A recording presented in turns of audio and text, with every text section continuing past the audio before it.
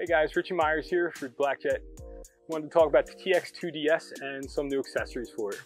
This thing's awesome. I base 90% uh, of my workflow around this guy or the 4Bay. Any jobs I'm on, I use exclusively their SSDs or I use my old two and a half inch SSDs and I can transfer them between. Um, I have a lot of kits, if you know me, I work with a lot of different productions. So some days are stills, some days are motion, some days are both. Some days I'm wrangling, some days I'm doing transcodes. So what this allows me to do is basically ingest from any camera I need, whether it be a Red, an Alexa Mini, whatever, uh, even some Sony stuff. I got the new SXS adapter. That's been uh, awesome. And what I, you know, with my workflow, with the two and a half inch or the M M.2 drives, I can jump between these two module systems and go anywhere with my kit. What's even better is they brought out a DTAP adapter, so now we can power this on the go. But they've expanded even further than that. They used to have the 1DS, which was the 4-bay, right? So you could have a red reader, a CFast reader, and two blank bays for SSDs. What they've done is they've come out with the 2DS, and to answer a lot of our problems, they've gotten rid of the old one system and developed a shelf to hold the two bay system. What's great about this is you're not losing anything.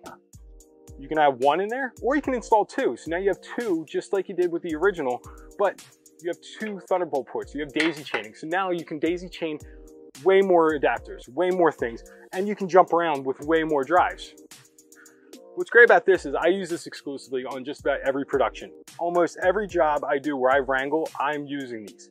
What this is doing now is I can install this into my into any of my rack systems and be on the go and not have to worry about setting up or tearing down or carrying anything extra. We're gonna show you how I'm gonna use it soon. I'm installing it today and then we're gonna beat it up for the next couple weeks. If you have a 2DS, this is gonna be the way to go, just to have on standby. What's neat is you, it's only four screws, so it comes in and out real easily, so you can go back to your mobility or use it exclusively in a rack system. That's what I'm planning on doing, is having it for both ways. I can pull it out and take it on the road, or I can run with it in my rack system. The old system was great, just not conducive to my personal workflow. Now that I've adopted all these modules, I didn't have a use for it anymore. That's why I was really excited to, to receive this.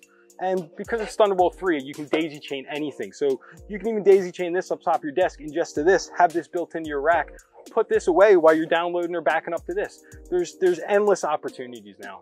And it, has been really great. My entire kits are, are, solely based on Thunderbolt 3 at this point, single cable plugins.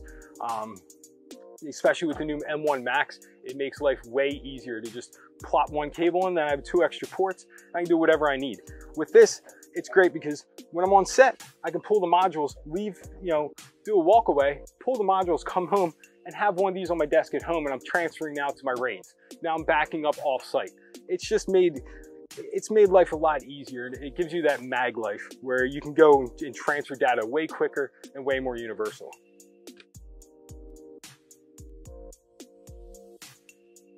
I'm really excited about this shelf. Taking the 2DS and being able to have two of them built in really will expand and shorten my setup times. I'll be able to just unload, pull up a rack system, pop that front off, and boom, I'm gonna have four bays at access.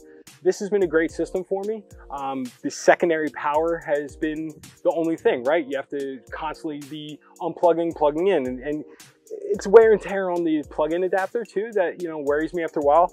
Luckily they went with the hardcore heavy duty XLR type style where it kind of locks in and it's very rugged. But what's nice is once it's built in, power can be built in.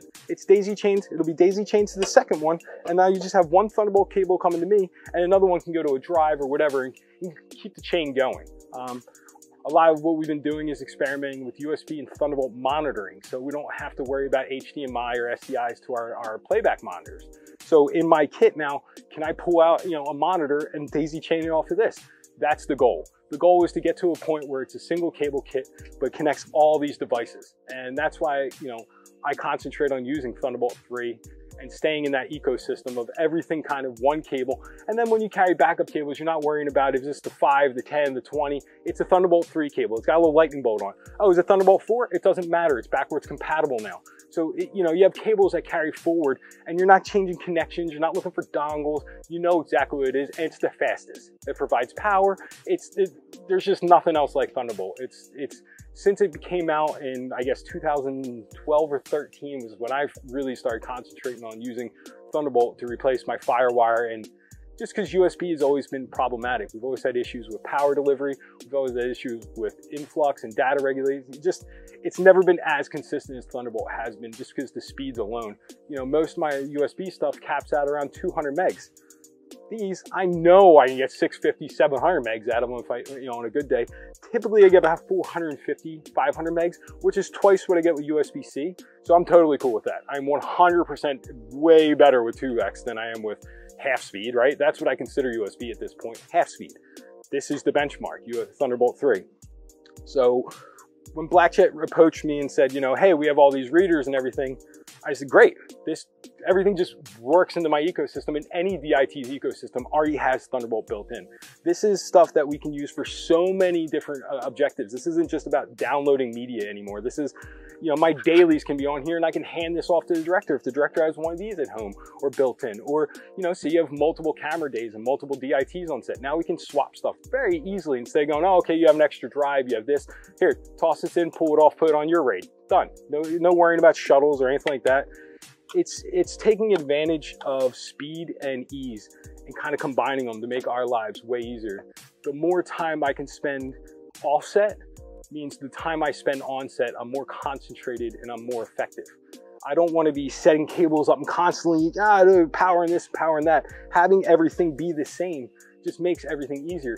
And there's days where we forget stuff. When your systems are all the same, you can forget stuff once in a while. We're human just like everybody else, right? Having all these be the same, you know, if I forget my reader, I always have a second one, right? And now it's in my rack system, it's great.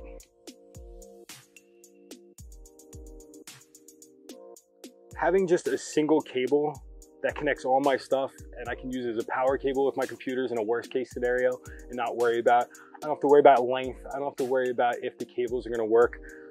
I don't have to carry multiple bags. I carry a bag of Thunderbolt 3 cables now, knowing that if I have a USB drive, I can still use that same cable in a worst case scenario.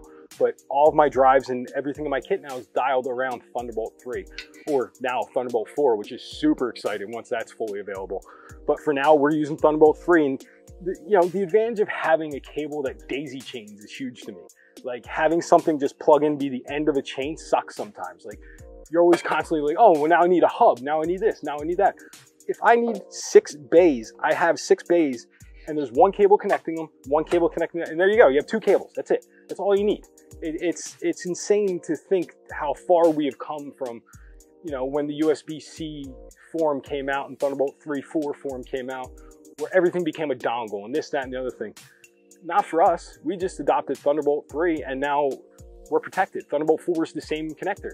It's, it's just gonna be faster and better, right? So having Thunderbolt built into all my kits and, and taking advantage of it for all these readers, there's no other readers that have these speeds. Even if you know you buy the proprietary Codex or whatever readers, great. That's a one trick pony. You're gonna spend $2,000, $1,000 on a, a media ingestion kit and not be able to do everything. I can do eh, just about 85% of the cameras in the world I can download and manage right here. I can at least manage their media if, if the reader has to daisy chain off of it, which, you know, Sony and uh, even Alexa, you have to use their readers, right? You have to use the AXS reader or the Codex reader. Well, I have an extra port, right? So I can just daisy chain it into my base and now I'm still in my ecosystem. It's, it's just made life so much easier. So now we're gonna get to the good part. We're gonna install this, show how easy it is, and just how much Blackjet puts into puts into our workflow. They, they don't just come out with a product that just sits on your desk. They put came out with a product that can go anywhere with us and be universal and say like, hey, we're not to gouge you and charge you for all these extra adapters and all this stuff. We're going to come out with this and you can use it here and then you can take it out and use it at home if you want or however you want. So let's get into it. Let's get this installed and have a great day.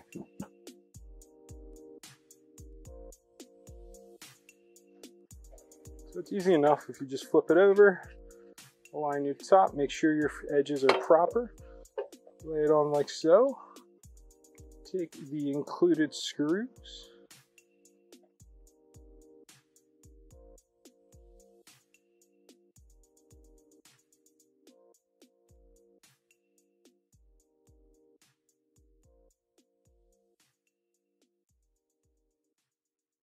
Here we have it nice and clean.